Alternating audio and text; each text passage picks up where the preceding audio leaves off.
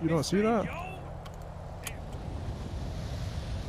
Yeah, I just held a fucking gun to my head. What are you talking about? And you didn't call Go stitch with my boy, bruh.